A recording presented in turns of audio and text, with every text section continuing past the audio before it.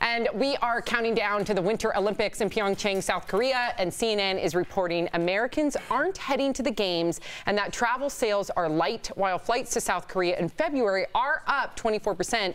That is a really small bump for such a large event. Consider the Olympics and how big it is. And some are questioning how a smaller group of American fans might impact our athletes. What do you think, Jeff? I know that you played sports your whole right, life. Right, right. As far as like, I don't know how many people want to go to the Olymp uh, Winter Olympics as opposed to Summer Olympics, right. you know, so that's one thing I'm uh, putting in the factor. But as far as families going there, I remember playing football and I was lucky enough to just play in the Midwest. You know, I didn't have to travel to play Division three football. And I always looked up in the stands and like saw my parents there. And, and how then did I that felt make you comfortable. Feel? Me and too. then I felt comfortable and I was ready to play. Me too. You know, but I think these athletes are so dialed in and so mentally focused and stronger than the average person that they're going to be just fine without anybody there. Although I'll take the opposite point of view. I know, and, and you know, I competed at an international Olympic level, and I know, thank you for that. Wow. Thank you. And I know that it was so vital for me to have my support group there, whether that be my sister, my club coach, because there's a difference between your Olympic coach and your club coach and your international coach. So I wanted my parents there, my sister there, and my club coach.